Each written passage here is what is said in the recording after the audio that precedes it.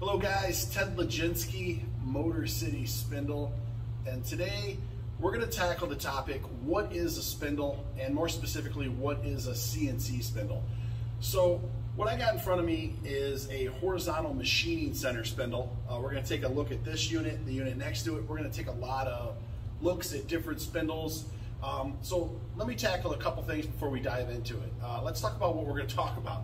Uh, the topics of today is uh, what are the different types of CNC spindles, what components make up CNC spindles, what industries are using these units, um, what are the different products that these different industries are manufacturing, um, what are the different applications, uses, and different styles of these units, and then we're also going to dive into, you know, what are the most popular machine tools using CNC spindles today. All right, so first we're going to take a look at the different components for CNC spindles. Um, one of the most important aspect of, of spindles is your spindle bearings. Uh, a lot of times we're dealing with both steel or ceramic. These are angular contact and these are sealed. Uh, we can get into the differences there. Obviously we're going to be dealing with a lot of roller bearings and different components as well. But um, here is the spindle shaft. Now this is critical because obviously this is what the inner race of the bearings mate and are, are mounted um, onto the spindle shaft. And these are installed into a spindle housing that we happen to have. Now this is out of a Chiron. This is a standard cartridge style spindle. We'll talk about that a little bit more later. Um, but as you're looking at this particular cartridge style milling spindle, this is out of a DMG Mori. This does not have your motor windings um, and the housing that this particular cartridge fits into. On this particular Doosan unit, my hands are physically on the housing that the cartridge fits into. So if you further break this down and remove all the rear components, uh, you have your encoder, you have spacers, you have your rear bearings, here you have your rotor. Um, all that is disassembled from this spindle, um, and this is actually a motorized unit as well. So these units all get assembled together um, that go inside of a housing, which can look like this unit, which is a very simple vertical machining center, or this particular unit, uh, which is a horizontal machining center. There's a lot of other components um, that, that, go into this unit. Uh, for example, we have encoders. Uh, the encoder is, is internalized on this particular unit, but the way the encoder works, um, we have a unit here where we have 360 degrees of teeth on this particular unit and that's going to tell us RPM and position. Really critical when you're machining and cutting chips. And then these, these units are going to have typically one flag. So every time the, the encoder rotates, uh, it's going to count not only those 360 degrees of rotation, but it's also going to count RPM. Um, so that's the differences between these two particular units. Um, all the O-rings and seals and things um, are, are mostly interior uh, inside of this particular unit, uh, but we do have O-rings on, on, the outside of this unit. Uh, taper, which is really critical um, on this particular spindle. Um, we'll get you some close-ups, but this is a Capto taper. Uh, it's a polygon shape, one of the most difficult to, to requalify. And then on this particular unit, uh, we have a Cat 40 uh, style, which is one of the most common units out there. A lot of units we're repairing on a regular basis are the size cat 30, 40, 50. Um, every once in a blue moon we see cat 60, uh, which is very unusual, but those are monstrous units. I can show you that in a little bit. Um, and then conversely, if you switch over for the American standard over to the metric, um, a lot of times end users are running HSK tool holders. So where this is a CAT 40, uh, they would be running an HSK 63. Now we're getting more and more HSK sizes out there for a variety of reasons. Again, we'll tackle that a little bit later. But there's a lot of HSK 40, there's HSK 50, HSK 63, and then as you get bigger, HSK 80 and uh, HSK 100. Um, so let's talk about um, what industries use CNC spindles. So being in the Motor City, being from Detroit, uh, one of the most obvious answers is automotive. Obviously, people talk about the big three. You got GM, Ford, and Chrysler. Um, of course, nationwide, though, there's more and more car manufacturers manufacturing vehicles all over the country. Obviously, Honda's all over, uh, Toyota, Nissan, Hyundai. Um, Tesla is doing a phenomenal job. Um, countless other other uh, companies, but, but those are some of the biggest players. And then we have all the tier one suppliers that are supplying components to these guys. So what exactly are they doing in the automotive industry?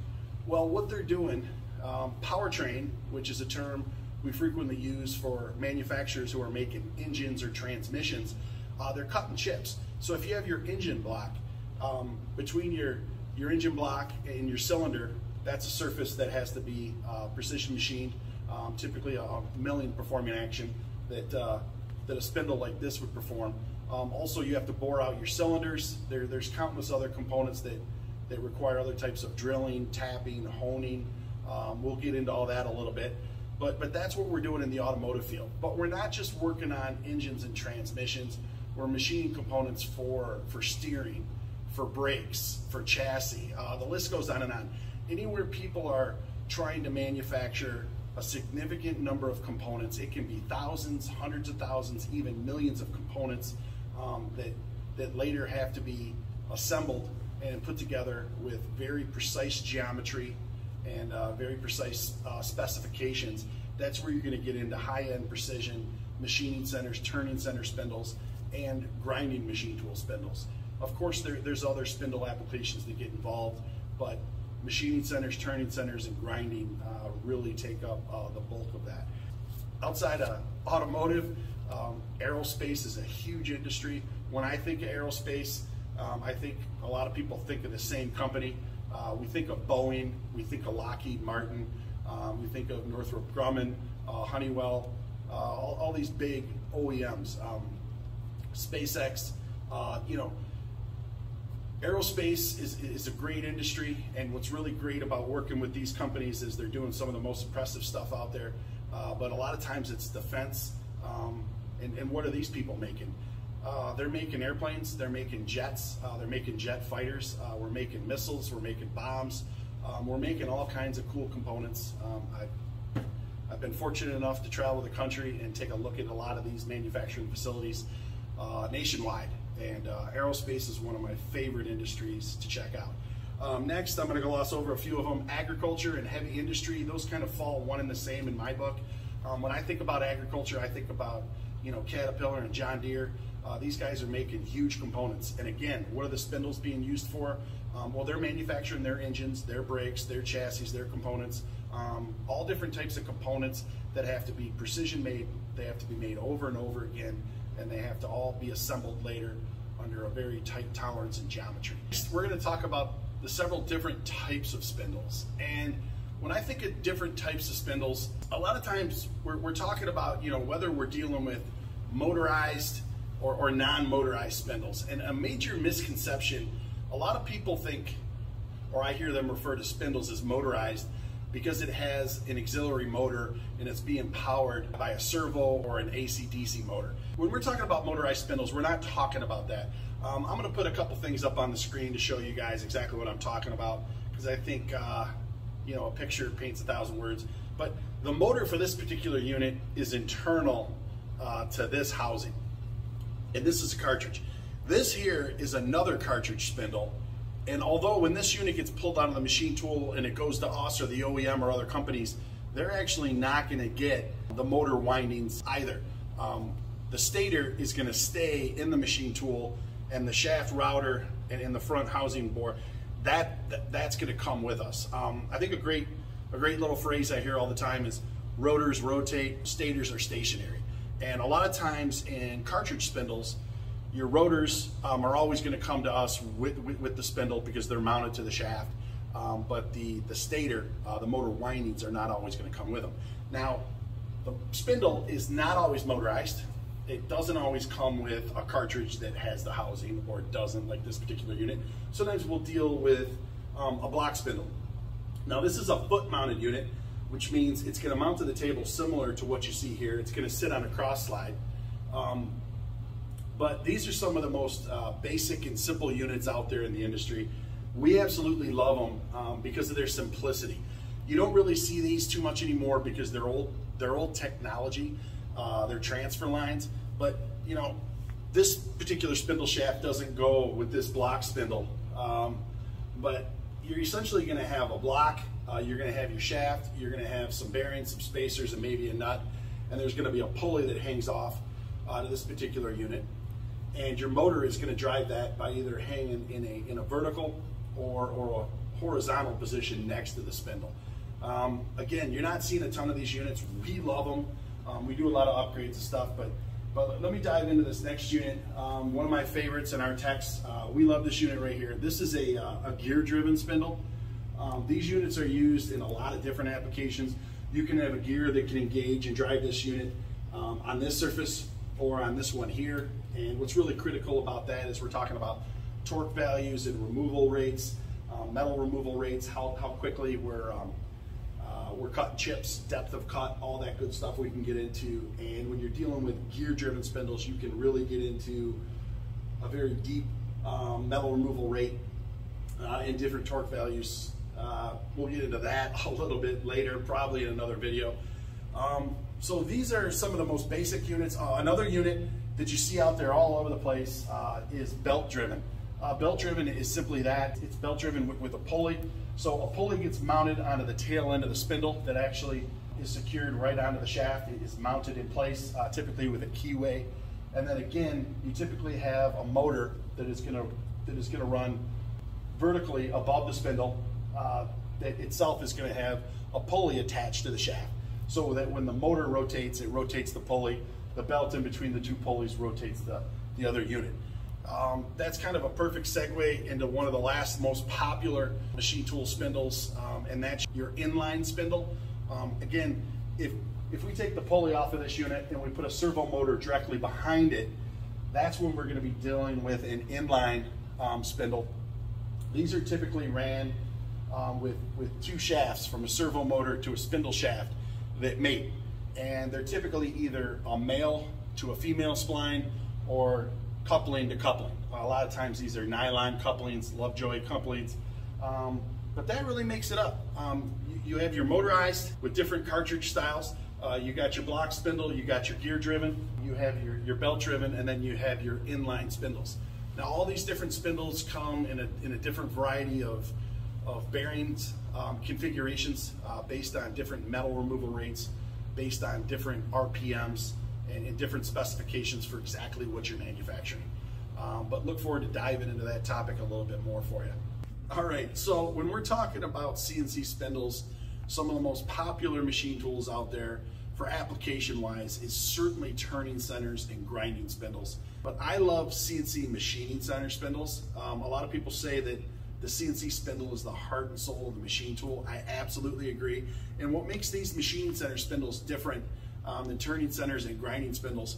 Uh, for the most part, uh, they have drawbars. Uh, I say that because we're starting to see different end users um, using grinding spindles and different spindles that are including drawbars. But in reality, that's really using a machining center spindle um, from its design and concept in a, in a different application. Now, what makes this a very profitable um, type of spindle to run is because it uses a tool holder to hold on to the cutting tool but it can do a tool change through an automatic tool changer and change from milling to drilling, tapping, um, honing. Uh, a lot of different um, operations can be changed. Um, sometimes, you know, damn near as fast as you can clap your hands and you can go to performing different types of machining operations. Um, this here on this particular unit um, is, is CAT 40.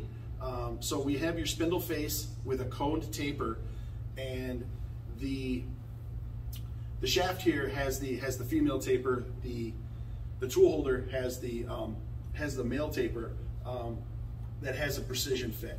Uh, you, ha you have your drive keys here, but what I really wanted to talk about was how the drawbars on these particular units work and just give you a really uh, broad scope of, of how these units are working.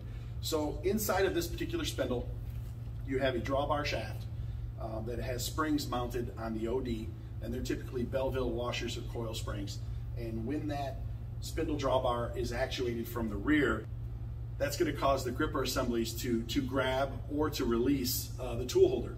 So that's really critical again, so that if you're machining chips and you have several processes you have to cut, you're gonna be able to go from one cutting operation to the other.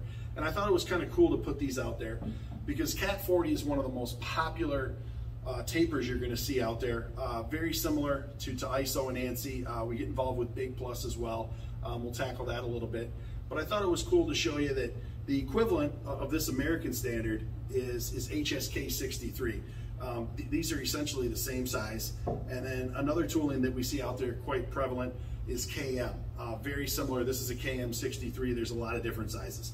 Uh, when you go from CAT 40, um, the next unit you see is CAT 50. And I wanted to talk about that because this is when you're, you're getting into some of the bigger boys and you're doing some, some heavy hogging and you're doing some serious metal removal rates. Um, some of the best machine tool out there uh, are, are, running CAT 50, are running uh, HSK 100. This again, American standard, European style. They're all over the United States. You're seeing both. And then I thought this was kind of cool, kind of playing the shell game here. But if we go from CAT 40 to CAT 50, the next jump up is CAT 60. I've been working in the spindle industry since 98. Um, it was only in the last few years that we started doing spindles that are actually CAT 60. A lot of people have never seen them. Some people don't necessarily believe in it. You know, they think maybe it's Bigfoot, whatever, but pretty impressive stuff. I've heard about HSK 200, um, never seen it in application, but uh, just wanted to show you some of the sizes. So we're gonna dive more into that. So look forward to showing it to you. Thanks guys.